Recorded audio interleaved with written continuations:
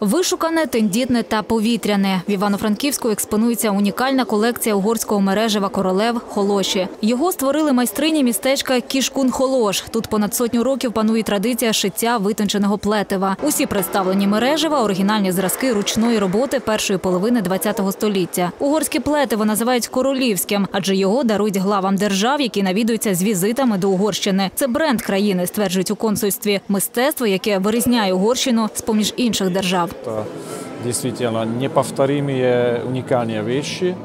Э, Некоторым из них э, почти 100 лет, Э, но даже новые предметы имеют огромную ценность, учитывая то, что на изготовление этих предметов уходит очень много рабочих часов. И люди, женщины, которые умеют это делать, их исчисляется вообще, не знаю, там дюжина человек умеет это сделать, знает секрет этого мастерства.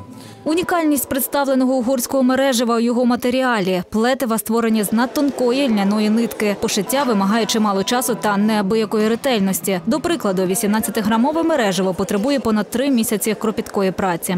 Я схиляю голову перед е, майстерністю угорських жінок, які е, спроможні виконати таку красу, е, тому що далеко не всі е, майстри, е, навіть високопрофесійні, здатні на таке. І взагалі е, це мистецтво е, це робота е, двох осіб: художника, який створює композицію, ескіз роботи, і майстрині, яка реалізовує, яка втілює цей ескіз у життя.